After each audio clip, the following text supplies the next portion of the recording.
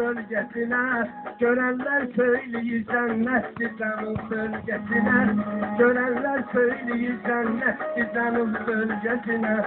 Güzellik ilahi kısmetli canım bölgesine.